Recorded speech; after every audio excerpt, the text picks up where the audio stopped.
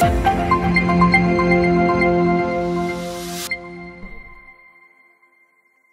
Вітаю в ефірі студія Репортер. Я Віталій Хемій. Наш телеканал продовжує висвітлювати життя, події, що відбуваються в створених, новостворених, об'єднаних територіальних громадах на Одещині. Сьогодні говоримо про життя Таїровської ОТГ. Радий вітати в нашій студії секретаря Таїровської ОТГ Олександр Ілліч Шарлов. Олександр добрий вечір. Добрий вечір. Відома постать, колишній заступник мера, заступник губернатора, депутат міськради. Знову нас в ефірі. Перше питання.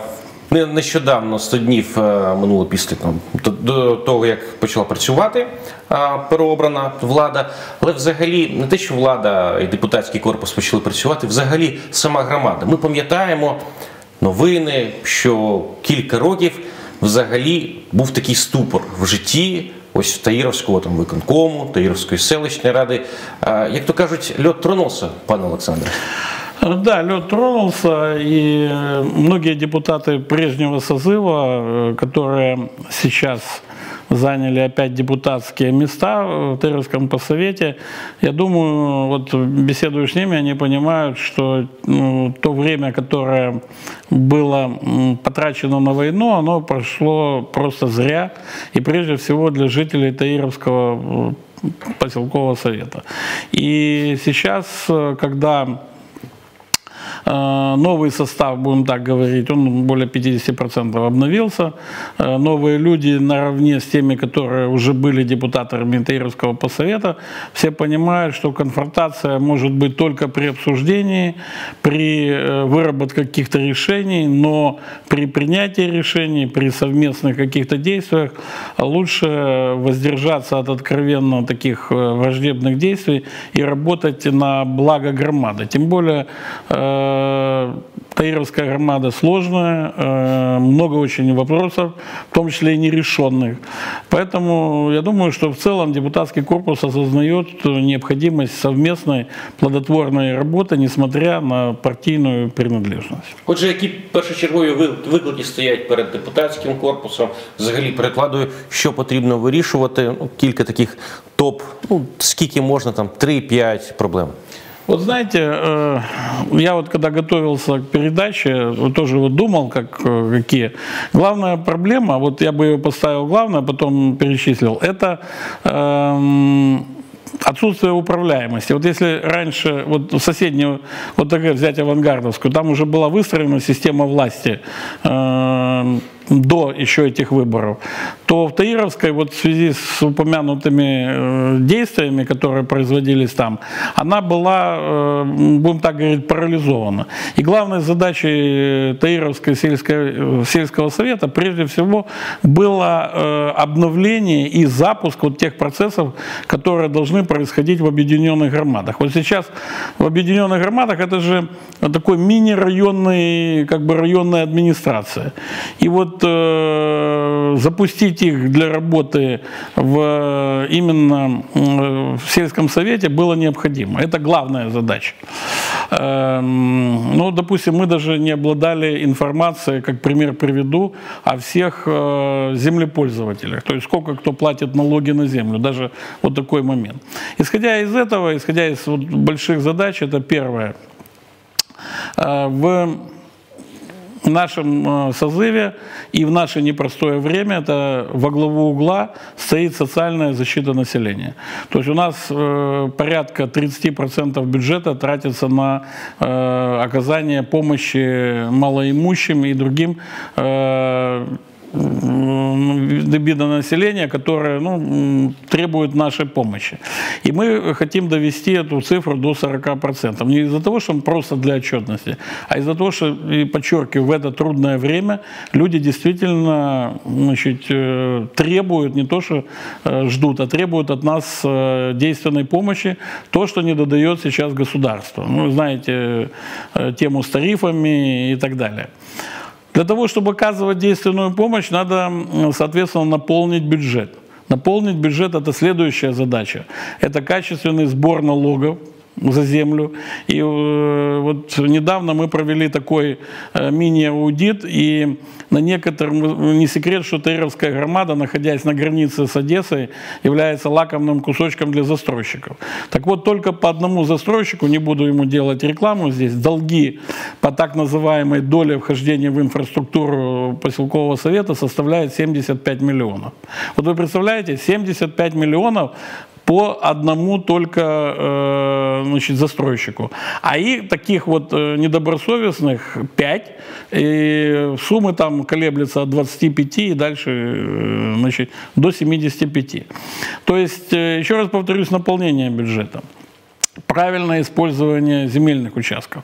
Э, в Таировском посовете, опять повторюсь, из-за близости к городу, она, земля наиболее ценна, и э, мы столкнулись с тем, что используется очень, будем так говорить, не, э, не по-хозяйски, хаотичная застройка, самовольное строительство очень развито в это. Поэтому было принято решение еще прошлым созывом, но работы не не двигались, а мы ее сейчас э, оживили, это э, разработка генерального плана Таировского сельского совета – по которому мы могли бы развиваться на ближайшие годы.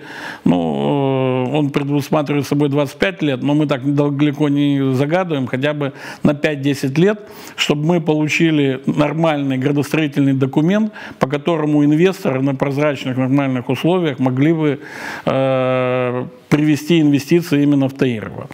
Следующий этап – это развитие инфраструктуры. Вот, допустим, э, мы понимаем, так если просто сказать, как заехать в Таировскую ОТГ. Но вот как между поселками, которые находятся в составе Таировской ОТГ, перемещаться, дорожной сети нет. Или есть какими-то направлениями. Я вспоминаю свое военное, так сказать, прошлое, когда там передвигались без дорог. Вот такая ситуация с дорожной сетью в внутри именно ОТГ в новообразованного, она существует. То есть ее надо создавать заново. Следующий вопрос, как бы казалось бы, вроде бы простой, и поселки существуют давно, но это отсутствие единого взгляда на водоснабжение и канализацию. Опять же, есть какие-то локальные э, очистные, которые давно уже не ремонтируются. Есть очистные, куда сбрасывается в СБО южные Инфоксводоканала. И вот одним, одной из тем и э, тех пути решения этой проблемы, в том числе возвращаясь к застройщикам, для того, чтобы создать интересный инвестиционный климат и сделать жизнь людей так нормальной, э, цивилизованной, мы сейчас э, разрабатываем схему водоснабжения и канализации всего ОТГ, то есть в едином комплексе. Раньше это делалось по какими-то кусками, которые, ну, не было целостной картины. Вот э, когда мы развернули вот, с депутатами и комиссии, которая занимается вопросами ЖКХ, а как как же вот э, снабжается водой. Вот все, э, и канализация, все какими-то, э, будем так говорить, э, какими-то райончиками такими, микрорайончиками маленькими. Единой системы нет. Из этого фекалиями затапливается и балка, и сухой лиман. В общем, масса проблем, которые э, я могу разговаривать сейчас уже давно, часа два да, об этом, но именно следующая задача – это Э, развития инфраструктуры в виде водоснабжения и канализации. Следующий момент, это уже мы насчитали три, да? Продолжите. Да, след... четвертое, да, следующий момент – это социальная инфраструктура. На весь Таировский посовет э, есть э, школа одна, Значит, э, есть э, детский садик, и в Сухом Лимане тоже школа, и э, начальная школа. Значит, а микрорайоны растут, это и Дружный, и десятое так называемое поле. То есть людям, которые туда радужный жилмассив, в котором отсутствуют детские дошкольные учреждения. И вот задача такая амбициозная, мы уже приступили и получили часть финансирования с госбюджета на строительство детского сада на 90 мест именно в СМТ Таирова. Мы хотим э, к концу пятилетней нашей каденции, чтобы в ОТГ Таирова было как минимум два детских сада полноценных и одна полноценная школа.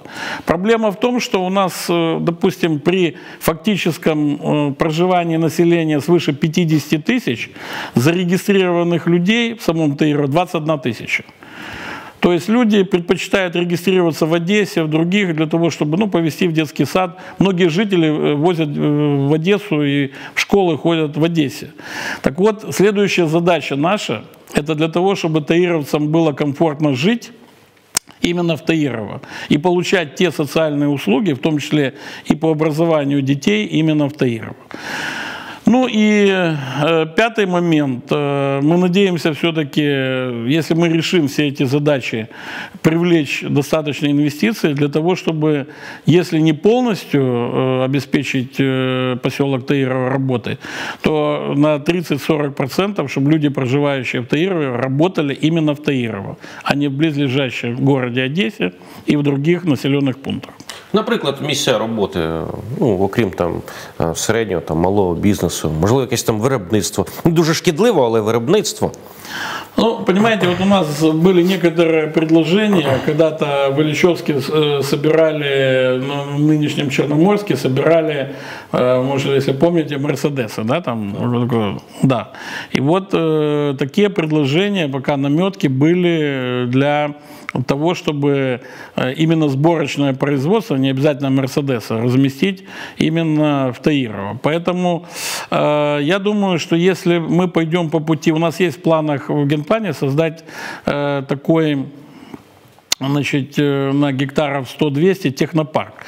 Довольно старая идея, которая, к сожалению, она не была реализована, но я думаю, что если мы э, в этом технопарке реализуем все эти задумки, как э, ну, целый пакет документов, то производство любое производство, оно пойдет туда, и мы обеспечим не только в сфере там, услуг или, как вы говорите, торговли, ну, знаете, э, значит, такую мафизацию, как бы, да, а и э, опять же, не вредное, а нормальное производство, которое можно было развивать э, в этих технопарках. Ви частково затронули долю райдужного. Ну, взагалі, цей мікрорайон це така багато брічна проблема. У мене завжди була там купа питань. Ну, Фактично, це частина міста Одеси. З вікон багатоповерхівок люди, які там мешкають, бачать поліклініку, бачать школу. Але це вже Одеса, і вони ну не можуть відвести туди своїх дітей. Вони мають їхати там Таїрова ще раніше, там в Овідіополь, навіть так могло бути. Якась можна там юридично полегшити життя людей, які живут в Одессе, але не в Одессе. Ну, что вы имеете в виду? Вот некоторые э, предлагали, мы когда проводили предвыборную кампанию, нам предлагали отдать э, жилмассив Радужный в Одессу. Ну, во-первых... Ось, ось, да. Просто так сказали, я, щоб мене в такому побутовому спиритизме не звинуватили. Да, да, да, да. Ну, знаете, во-первых, Одесса не хочет брать именно Радужный, потому что проблем там в самом Радужном. Да, понимаете, вот, э, наверное, Одессе интересно было взять еще 500 гектар дополнительно к Радужному, чтобы надстроить такой же Радужный дальше. А сам Радужный, конечно, большая проблема, и город, естественно, не спешит. У нас такие вопросы задавали. Эм, мы сейчас хотим, опять не хочу передачи, чтобы я не прослыл там значит, каким-то э, значит, человеком, который э, пытается рассказать несбыточное, но есть, э, опять же, возможность в Радужном разместить детский сад и школу, не в самом Радужном, а на прилегающих землях. И э, на 350 мест детский садик построить и школу. Э, такая возможность есть, и мы над этим работаем, для того, чтобы э, обеспечить население. Тем более оно в основном молодое. То есть э, дети дошкольного возраста, школьного, и там стоит э, очень большая в этом проблема. Следующая проблема Радужного, и не только Радужного, Таирова, это медицинское обслуживание. Э, в Радужном размещен наш ну, по-старому поликлиника, сейчас консультационно-диагностический центр, достаточно с э, мощной инфраструктурой. Это я хочу сказать спасибо тем людям, которые работали до нас, но сегодня это уже недостаточно.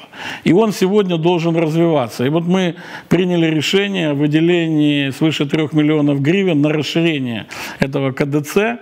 И вот уже, будем так говорить, один из объектов находится в Радужном, где люди получают, на мой взгляд, качественные медицинские услуги, которые не хуже, чем в городе. Сейчас мы будем монтировать э, новый рентгенаппарат, делать пристройку, но там, глядишь, и до современных э, значит, э, маммографа, и недалеко тоже ведем переговоры для того, чтобы жители Таирова и Радужного получали качественные медицинские услуги. Следующий момент, вы знаете, что там одна дорога ведет Ось, только, да? Вот. Пожежний проїзд заблокований майже завжди. Да. Машини хаотично припарковані. Да. Вот э, когда мы принимали бюджет развития сейчас, мы выделили деньги на строительство дороги, которая будет э, окольцовывать, будем так говорить, радужный, э, значит, с северной и с восточной стороны. То есть там будет полноценная дорога, которая можно будет заехать в двух местах, и в том числе спецтранспорту. Э, поэтому э, я думаю, что нам по силам решить э, вот вопросы именно социальные, которые стоят перед этим массивом, и не кивать на то, что мы там отдадим городу значит, жители, потому что, еще раз подчеркну, город нужен не сам радужный, а земли, которые прилегают вокруг него. Поэтому я надеюсь на то, что нам под силу решить эти задачи, и то население, которое проживает там, но будет пользоваться именно услугами, которые будут предоставить именно этот жилмассив. И одесситы из Киевского района будут возить детей, просить нас устроить в нашу современную школу и детский сад. Я нещодавно бачив, що облдержадміністрації була нарада за участю представників керівництва служби автомобільних доріг Одеської області. Побачив там вас, Олександр Віталійович, і згадав також, що є у нас така дорога. Я її називаю мертва дорога, але вона ніяк не мертва. Це дорога для одеських шумахерів, яка йде в сухий лиман. Дві полоси, така широка, але ніхто за призначенням туди не їздить. Чи можливо якось оживити цю дорогу? Я так розумію, що саме цьому було була присвячена нарада в амбітному такий важливий проект. У вас э, это ирония по поводу депутата горсовета Шумахера? Или... Я просто ні, я, я, а, можливо і так, можливо і так, можливо і так. Я ну дорога де Шумахер. Я пригадав, я, я, я вже. Дорога, ну, в вашем понятии Шумахера, имени Шумахера, так. а в моем понятии это дорога э, сухого лимана. Так. Значит, э, проблема очень, э, будем так говорить, с, с большой историей. Многие главы администрации и областных администраций пытались ее решить, в том числе и ваш покорный слуга, когда был главой Ведиопольской администрации. А, это действительно не просто объездная дорога, это вот то, что сейчас происходит в Сухом Лимане, это беда. По сути, э, на трех с половиной метровой дороге старой проходят э, тяжеловесные фуры от, э, ну мы сами знаем, что весовые у нас ограничения отсутствуют. И вот по этой, будем так говорить, проселочной дороге проходят фуры весом от 30 до 70 тонн. И мало того, что они создают шум, пыль, люди вот на фасад своего дома выйти не могут. Э, мало того, что это небезопасно, потому что дети или люди э, пожилого возраста, опять же, пройти вдоль дороги не имеют такой возможности. Это еще создает э, такие условия, как разрушение домов. Ведь они построены по технологии 50-х, 40-х годов, э, после войны, э, значит, частью ракушника и так далее. Вот сотрясение от проезда этих большегрузных машин буквально приходит к разрушению этих домов. Мало того, что экологическая ситуация очень плохая, ну, тут такая. И вот, наконец-то, я просто э, хочу, ну, там, не загадывая далеко, э, у нас э, летом будет 30-летие как независимости нашего государства, и под э, инициативой президента и главы областной администрации Сергея Рафаиловича Гриневецкого вернулись. Вот это один из проектов так называемой большой стройки и объектов, которые должны быть построены в 30-летие независимости нашего государства. И достаточно был серьезный разговор и настрой областных и, будем говорить, чиновников и Кабмина о том, чтобы эту дорогу построить. Мы, конечно, активно ратуем за там же есть вопрос выкупа паев, то население, которое там имеет паи, тоже э, все изъявили желание, ну, большинство, во всяком случае, сейчас, э, продать паи за счет значит, денег государства. Поэтому я думаю, что этот проект, наконец-то, если сдвинется, это очень большое подспорье не только нашей громаде, но и соседней Авангардовской, городу Черноморскому, по которой будет построена современная современная объездная трасса. Мы очень надеемся, что этот проект будет осуществлен. И мы, э, руководство э, Таировского поселкового совета и э, сельского совета, будут прилагать все усилия, чтобы воплотить его в жизнь. Ну, нагадаю, мова йшла саме про ту дорогу, якою восени проводилися, на якій восени проводилися автогонки за участю одного з кандидатів в мери. Так, ну і взагалі там кожен кожні вихідні там не досить спокійно, але є надія, що дорога буде використовуватися за призначенням. А ще дуже багато сам насправді питань, Олександр Віталійович, Я вдячний, що ми розпочали говорити про проблеми. Все ще проблемної громади. Ну, все ж таки, ми розпочали з того, що майже рік навіть більше ніяк не працювала, були непорозуміння, багато чого було. Бажаю успіхів вам, вашим е, колегам. Обов'язково пропоную за кілька місяців зустрітися, звірити годинники е, і сподіваюся на звіт в позитивному плані від вас. Дякую. Спасибо, обов'язково. Залишайтеся на телеканалі Репортер. З вами був Віталій Хемій. До наступних зустрічей в ефірі.